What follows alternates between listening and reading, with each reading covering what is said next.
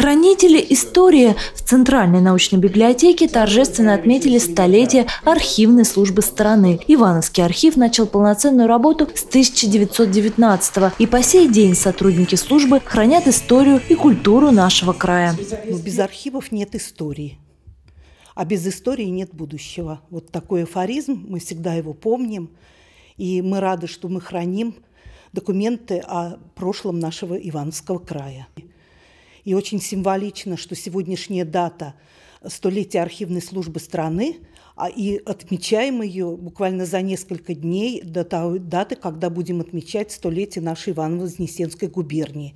В этот день здесь торжественно поздравляют всех архивистов региона. Благодарственные письма, добрые слова, теплые пожелания и музыкальные сюрпризы. Лучших хранителей истории удостоили звания «почетный архивист». Их в России не так уж много. Ну, работа у нас, конечно, сейчас очень сложная.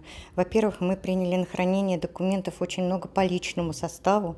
И сейчас в основном очень много работы с документами вот, по личному составу. Это э, льготные стажи подтверждаем, зарплату подтверждаем к пенсиям, людям помогаем. Поздравляют в этот день не только сотрудников, которые проработали в архивной службе долгие годы, но и юных архивистов. Это школьники, которые участвовали в молодежных конкурсах. Ребята работали с архивом и писали исторические очерки. А, тему моей а, уже второй работы. Это первая аптека Людвига Вильда в Иваново-Вознесенске. А, архив внес большой вклад в мою работу.